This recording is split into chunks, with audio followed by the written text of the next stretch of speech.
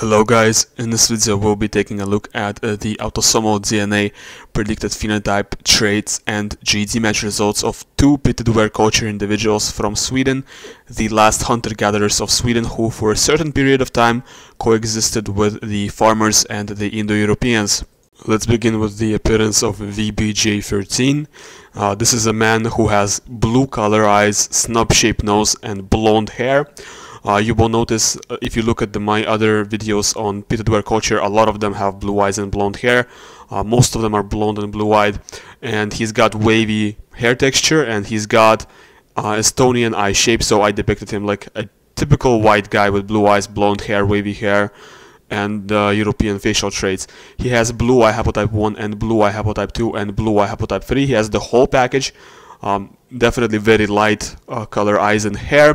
Uh, doesn't have BH4 but if you have BH2 you're not going to have BH4 And he does have two derived variants in IRF4's mutation that has to do with hunter-gatherer, blue eyes, pale skin, and red hair.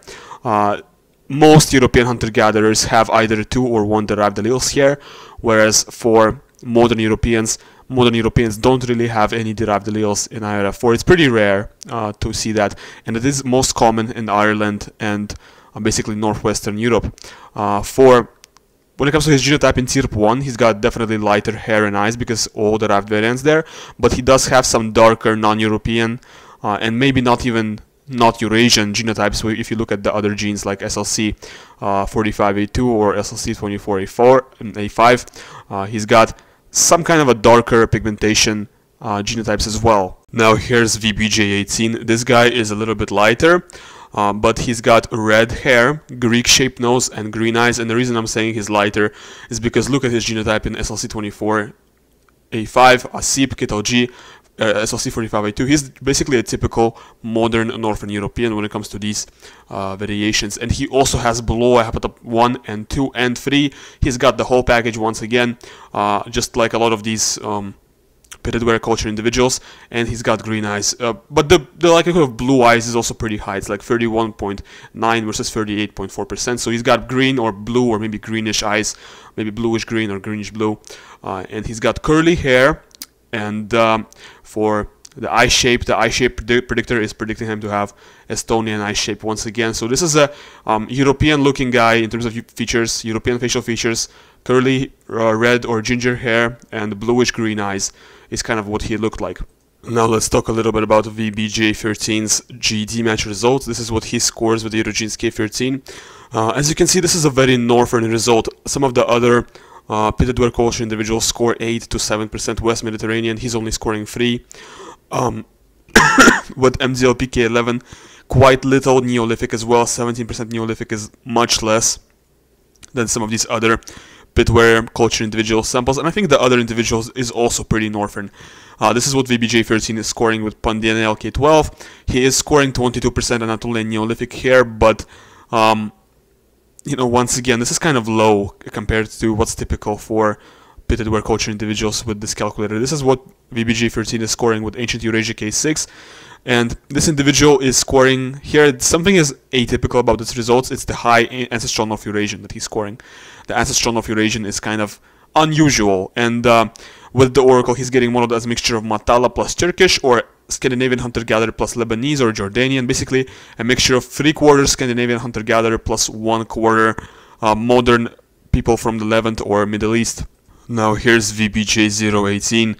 Uh, this guy has just slightly higher amount of uh, Neolithic farmer admixture, like 1% higher, but it does make a little bit of a difference.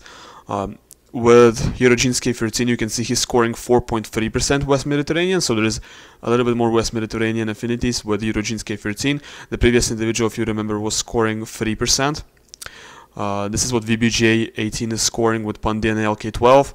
Uh, once again, a little bit higher Anatolian Neolithic farmer than the previous individual, but still kind of low for pitted ware culture standards. Uh, this is what VBJ18 is scoring with Ancient Eurasia K6, and here you can see once again a little bit higher Natufian uh, component than the previous individual, and with the Oracle actually getting modeled as a mixture of Northern Europeans plus European hunter-gatherers. So this individual is more European hunter-gatherer uh, than what's typical for modern Northern Europeans by by a big uh, by a long shot. Like it's like half or Northern European plus half hunter-gatherer, or even two-thirds hunter-gatherer plus one-third Northern European. This individual is very hunter-gatherer and um, all of these pitted ware culture individuals are very hunter-gatherer in terms of ancestry. They're West Eurasian, as you can see with the with the uh, Gedrosia K3 oracle, but uh, these individuals are not where West Eurasian drift peaks. West Eurasian drift actually peaks in European farmers, and European Neolithic farmers are, without doubt, the widest people in terms of ancestry in the world. Now we'll be taking a look at their traits and examining their genome using my genome analyzer, which is on my website. So let's uh, let's begin with um, 18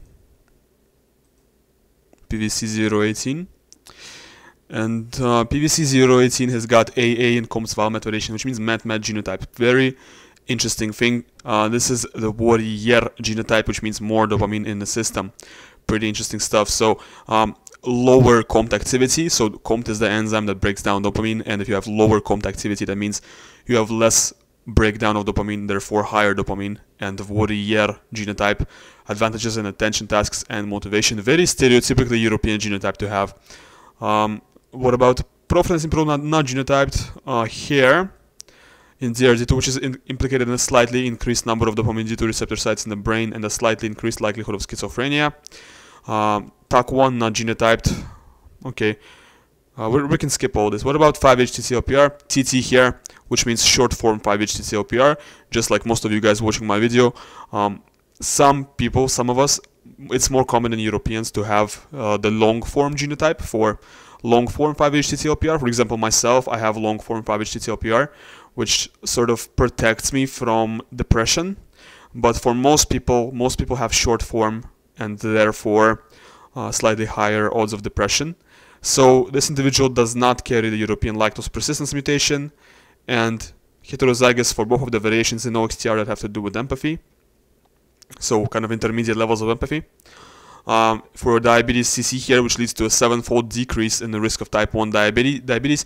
Uh, we don't really care about type 2 diabetes because that's preventable, and chances are, uh, with the kind of diet that these people were living on, they would not develop type 2 diabetes. Type 2 diabetes takes to develop that, you have to have a diet that's very heavy in sugar, like sodas and various um, yeah, it's mostly sodas. Soda is kind of the devil when it comes to type 2 diabetes. Uh, for hemochromatosis, not a carrier. For Alzheimer's, no risk alleles, no risk alleles for APOE2. Um, the main variations that are important for Alzheimer's are these two that have to do with APOE2, uh, APOE gene, and everything else just kind of slightly contributes, but it doesn't matter all that much, so we can ignore that. For miscellaneous section, no micro P, uh, I'm not going to pronounce this in full, but you can read what it says on the screen and um, maybe pause the video if you can't see. Um, change the quality of the video. Sometimes YouTube has like a lower quality video where you can't you can't read what's on the screen, so you, you might need to set it to a little bit higher standard so that you could see what it says. But um, no micro P, smaller cranium and lower IQ. then there's another variation for a genotype for higher IQ. Interesting. Uh, TT here, which means impaired muscle performance and likely endurance athlete rather than strength or or, or power athlete. Uh, for drug response, uh, we don't really care about that. For albinism and atypical traits, not a carrier for any of the albinism mutations, and not a carrier for Melanesian blonde hair variants. Okay, nice to know. Now we can check. This was 18, right? Yeah, this was 18. Now we can check 13. Um, yeah, there he is.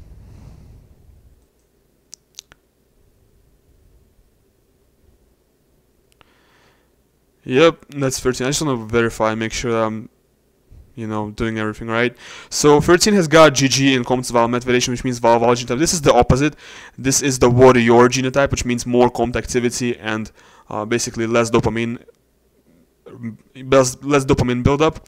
Uh, TT here in MAOA, which means lower activity of the MAOA enzyme. So this is the opposite. So here, he's got higher activity of COMT enzyme, but lower activity of MAOA enzyme. What that means is that both of these enzymes are enzymes that break down dopamine. So in COMT, he's a warrior, but in, in MAOA, he's a warrior. So these kind of cancel out. Um, GG here, which means no derived, no golden evidence in DRD2's profitance in pro, which means higher number of dopamine D2 receptor sites in the brain and higher likelihood of schizophrenia. Okay, TAK1. Oh, this is this is crazy. This is cool. Okay, so he's got AA in Taq1 of variation of DRD2, which means A1A1 genotype, and this is implicated in a greatly decreased number of dopamine D2 receptor sites in the brain and an increased likelihood of alcoholism, Parkinson's, and ADHD, and various other uh, illnesses. And this is not a typical human genotype. Um, this is a genotype you will see in every gorilla, monkey, ape, um, chimpanzee, whatever. Any kind of non-human that's a, that's a monkey is going to have AA here. Uh, Neanderthals mostly also have AA, but humans tend to have GG here, which means A2A2 genotype basically. Um, and the A allele uh, is pretty dangerous. It decreases the number of dopamine D2 receptor sites in the brain by I think I think it's like 40%. So it's it's a pretty dangerous genotype to have, uh, and it greatly increases the likelihood of certain illnesses such as like stuff that that's mentioned here. Uh, so it's a very interesting genotype. He's heterozygous for AA, meaning A1A1 genotype. Uh, pretty crazy stuff. We can skip everything else. What about this? TT here, which means typical genotype for most humans. Once again, short form. Okay, wow, and this is this is crazy right here. So this individual has CC in this variation, which leads to long form 5-HTTLPR and significantly reduced risk of depression. This is a very rare genotype. So this individual actually does have long form 5-HTTLPR. I was just talking about that like two minutes ago. I, I hope you were paying attention. So this individual has significantly reduced risk of depression and better serotonin transportation uh, based on his genotype in 5-HTT-LPR. So for lactose persistence, not a carrier for European lactose persistence. For empathy, increased empathy, lower empathy, intermediate. So I, for empathy, I guess it's just kind of intermediate or average um, intermediate levels of empathy. For diabetes, CC here, which leads to sevenfold decrease in the risk of type 1 diabetes. And type 1 diabetes is the one we really care about. Uh, type 2 diabetes, once again, is kind of irrelevant when we're talking about a copper age individual. For hemochromatosis, does not carry any of the hemochromatosis variants. For Alzheimer's, okay, he's got this two risk alleles for Alzheimer's in this APOE variation. This is important. So this individual having CC here means he's, he's 12 to 61 times higher odds of Alzheimer's than average. And when you consider the fact that like 10% of people develop Alzheimer's when they're 60, um, this basically means this individual, like the likelihood of this individual developing Alzheimer's is incredibly, incredibly high.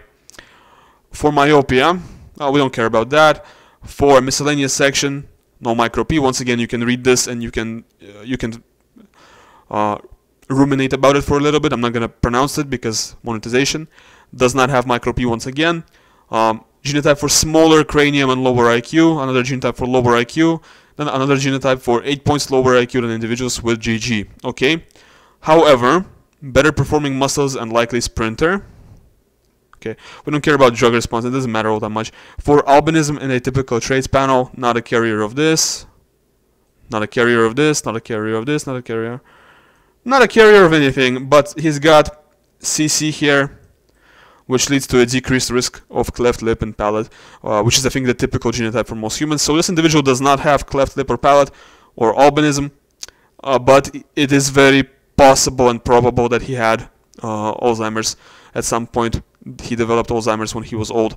Uh, if he did grow old, because I don't know how long, how um, what the life expectancy was like in the copper age for uh, Swedish hunter-gatherers. Well, thanks for watching my video until the end. Leave a like and subscribe if you enjoyed it. You can download both of these samples in 23andMe format from link, which is in the description. And um, that's pretty much all I had to say. Goodbye, guys.